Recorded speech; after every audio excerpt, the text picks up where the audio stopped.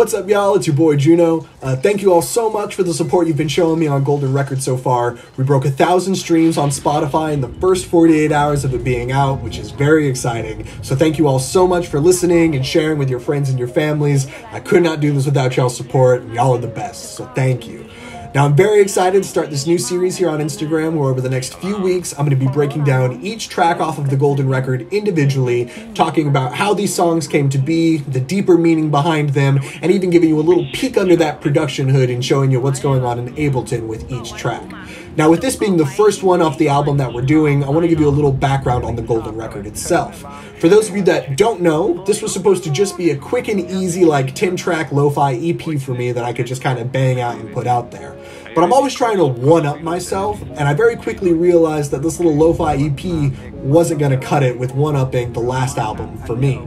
So I'm like, hmm, what can I do? Well, fast forward to today, and we've got this 15 track full album that is now my sonic representation of humanity. I can't wait to dig into it a bit further with y'all, so let's go ahead and start this off with the first track off the album called Greetings. Let's get it. So, when you first hit play on the Golden Record, this is what you hear.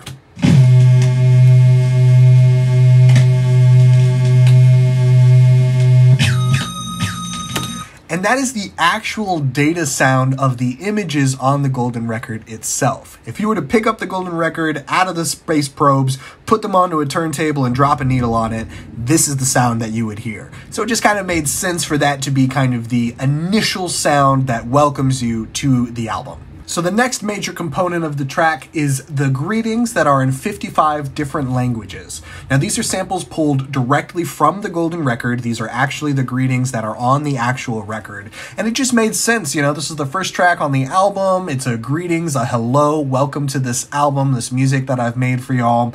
And so I just wanted to drop these in here and have it be a tie-in back to the samples of the actual Golden Record, but also like, hi, welcome, hello, you're about to go on a journey. So so that's what these are. Konnichiwa.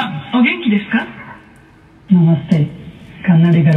Now you can see that I've got a beat repeat as well as like a vocoder and a couple another beat repeat over here. There's some EQ going on as well. The idea was just to make it all sound a bit more technical, a bit more glitchy. You know, I kind of liked the idea of maybe someone's discovering this record after it's been floating in space for millions of years. And so because of that, there's some artifacts. It's not going to be crystal clear, pristine audio. Hello to you too. So the last bit of this track is the musical spine of the track, and it's called Clair de Lune. It's a classical piece of music written by Claude Debussy, and it is made up of three different elements, all basically playing the same part. So I have a piano, an electric piano, and a synth.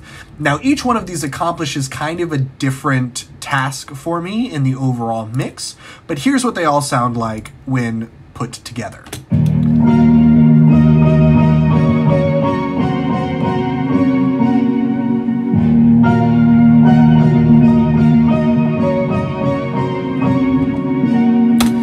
Now, each one of these has different EQs and compressors on them, and some of them will have beat repeats and things that match the beat repeats that were on the vocals. The reason I did that was to kind of just have a bit of uh, cohesion between uh, the glitchiness of the vocals and a little glitchiness in this music, just to make it all sound like it belongs to the same thing. So here's what these parts sound like individually. This is a piano.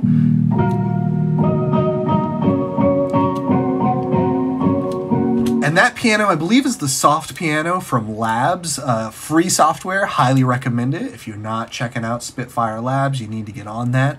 But, you know, it's got the left hand and the right hand. And this is sort of like, you know, this piano sound is the kind of spine of the piece. I didn't want it too, too glitchy. I wanted it to exist in this classical world still, which is why I wanted a very traditional kind of piano in there. Now, when you bring in this electric piano, the electric piano is where a lot of our bass is coming in from.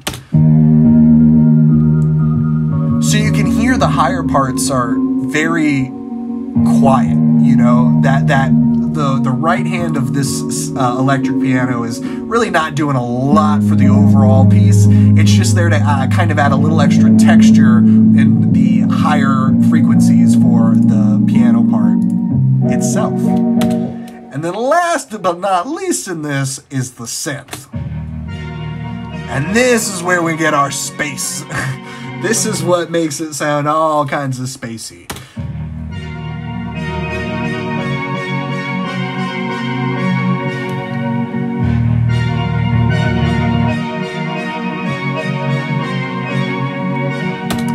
And so the electric piano gives us our bass, the synth gives us some of our spacey higher frequencies, and then this classic soft piano is just what's there to help tie it all, keep it cohesive, keep it sounding classical, and uh, not too electronic too soon on this album.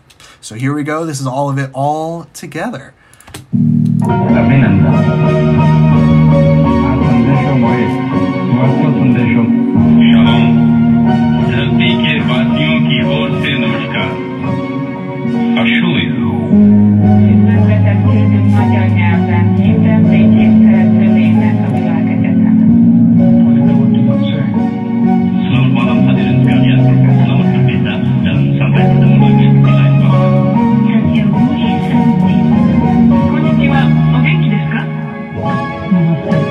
ಕನ್ನಡಿಗರ ಪರವಾಗಿ ಶುಭಾಶಯಗಳು So that just about wraps up this very first track breakdown off of the Golden Record. I cannot wait to keep diving into these more with y'all over the next few weeks.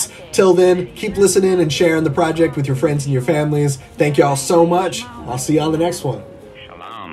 Բոլոր անոնց, որ կգտնվին եզերքի մի կամազություններեն անցին, ողջույն